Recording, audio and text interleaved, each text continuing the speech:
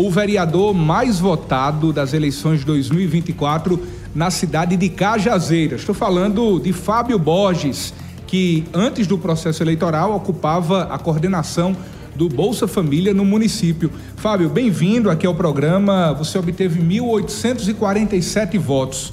Foi o mais votado. Se surpreendeu ou já esperava tirar essa votação? Boa tarde.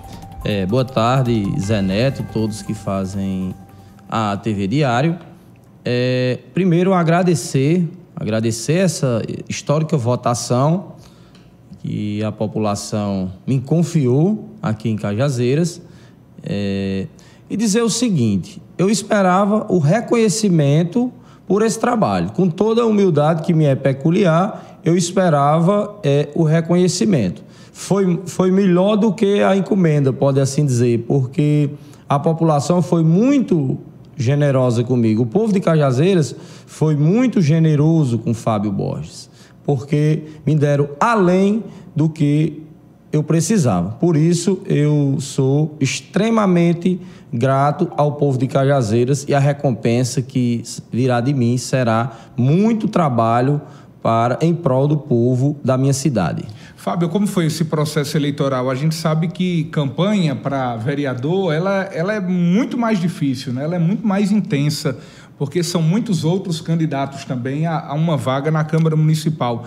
Como foi essa disputa para você? Olha, Zé Neto, quando, quando é uma coisa construída, com muito trabalho e a longo prazo, o resultado ele é positivo Primeiro, é a minha militância.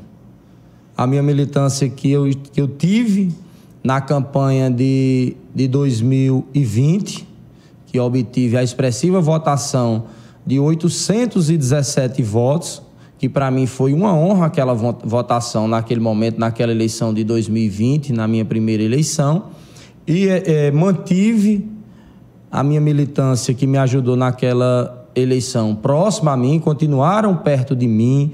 É, a gente começou a trabalhar para a campanha de 24 no outro dia.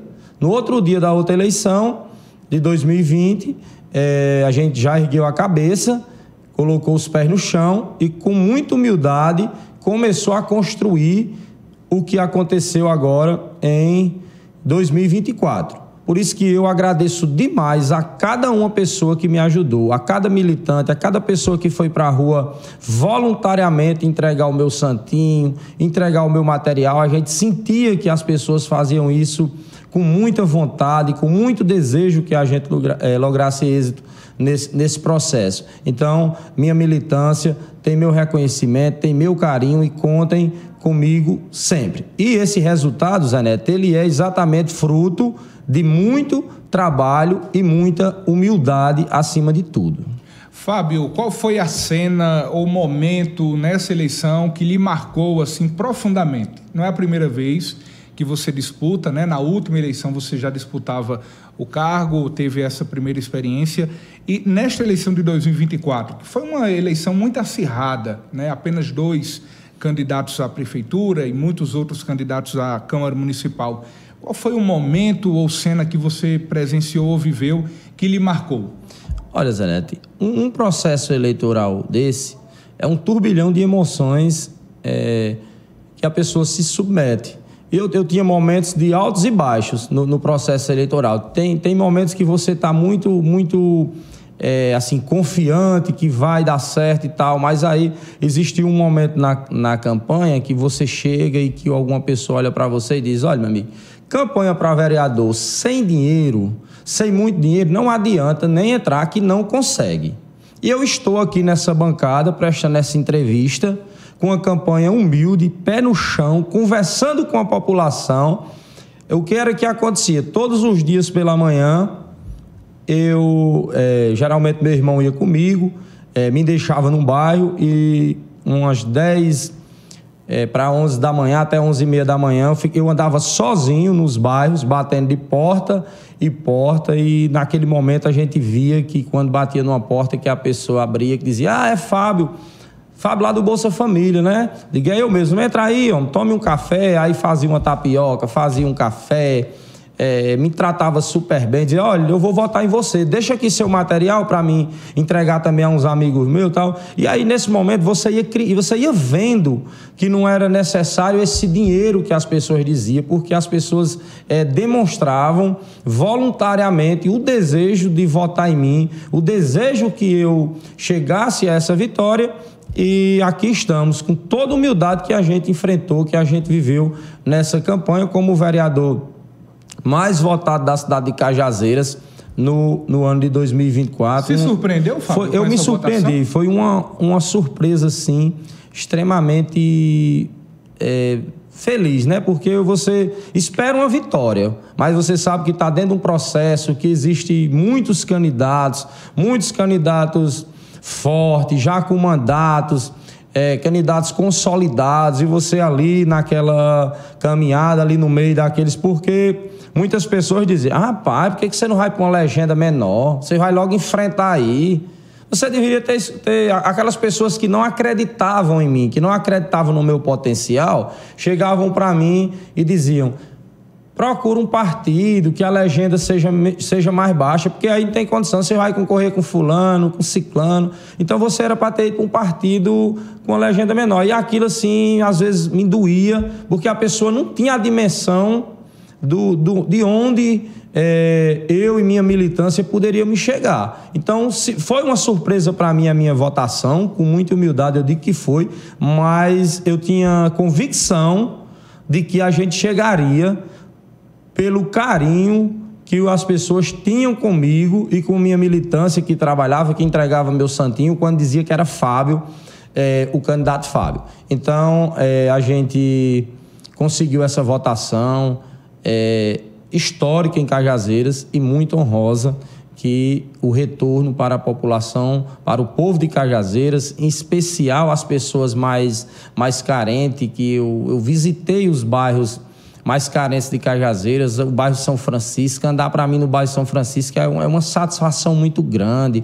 Residencial, Cajazeiras 1 e 2, Pio 10, Mutirão, Vila Nova. Rapaz, eu, eu terminava minhas visitas 10 horas da noite com vontade de continuar, de tanto carinho que as pessoas demonstravam por mim. Então foi, foi era revigorante. Você não conseguia nem dormir quando chegava em casa assim, de tão emocionado que eu ficava com o tratamento que eu recebia. As pessoas que andavam comigo ficavam impressionadas. Na zona rural nem se fala. Eu saía para a zona rural no final de semana, é, quando eu voltava era com, com ovo de capoeira, era com banana, era com mamão. As pessoas era muito carinho. Aí, aí até o, o, os meus amigos, né, que faziam campanha comigo, brincavam. Tu vai pedir voto e tu não leva nada pro povo, não. O povo é quem te dá as coisas. Então isso, isso, isso ia assim me dando força para trabalhar mais, mais e mais. Eu parei 10 horas da noite no sábado, fui dormir muito tranquilo, com o coração leve, e no domingo. É, a população foi muito, o povo de Cajazeiras foi generoso demais comigo e eu serei eternamente grato com essa generosidade. Fábio, você durante muito tempo esteve à frente do programa Bolsa Família, na coordenação e pôde ver muitas realidades de vulnerabilidade social na cidade. Toda essa experiência vivida né, e sentida ali no dia a dia com essas pessoas, elas serão refletidas na Câmara Municipal, na sua ação parlamentar, no, na, no momento em que os projetos forem apresentados, ou até mesmo projetos de sua autoria serem apresentados na Câmara? É, não tenha dúvida, Zanetti, não tenha dúvida, nem você, nem quem nos assiste agora, nem o povo de Cajazeiras, que será. É, entregarei muito trabalho, muito suor. Eu não vou ficar é, na Câmara Municipal apenas na segunda é, e na, na terça-feira naquelas é, sessões regimentais, não. Eu estarei dentro dos bairros, eu estarei na, nas comunidades rurais, estarei próximo ao povo de Cajazeiras. O povo estará próximo a Fábio Borges. Não tem essa conversa de dizer é, que eu já ouvi vereador dizer que não anda nos bairros porque o povo pede muito. Comigo não vai ter esse negócio, não.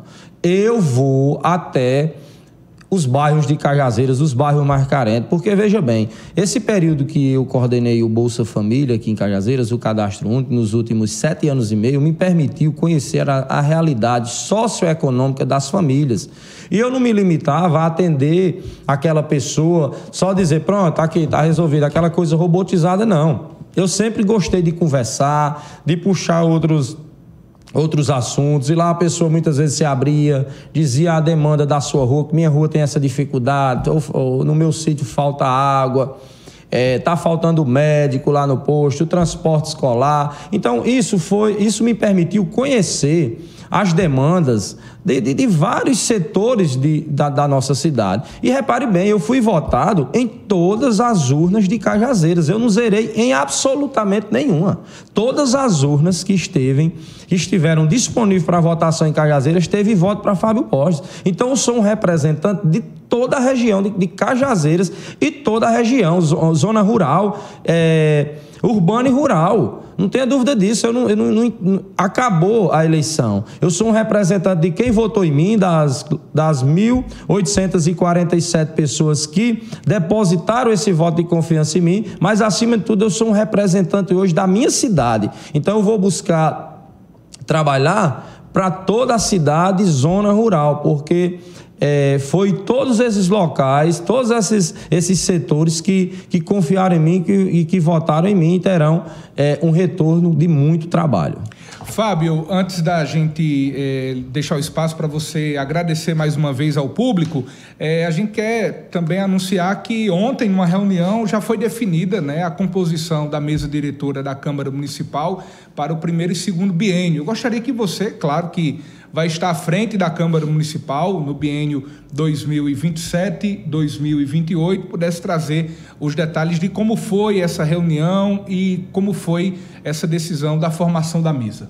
Olha, é, o primeiro passo, quando passada a eleição, nosso, a eleição, lógico, da, da nossa eleição para vereador, foi já essa questão da unidade do nosso grupo. Nós fizemos nove, nove vereadores e, obviamente, que iríamos pleitear a, presidência da Câmara.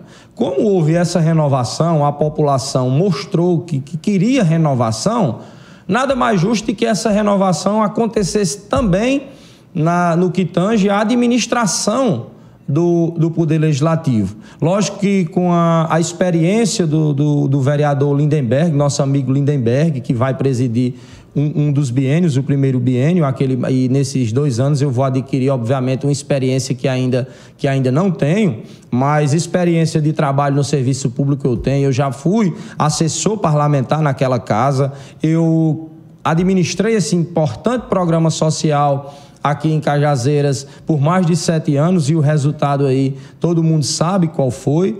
Então a gente se reuniu, a gente discutiu e democraticamente numa reunião ontem, a gente definiu é, a mesa diretora da Câmara Municipal é, para os, os, dois biênios do, é, do, próximo, da próxima legislatura. Então, foi muito tranquilo, todo mundo desprendido de qualquer vaidade.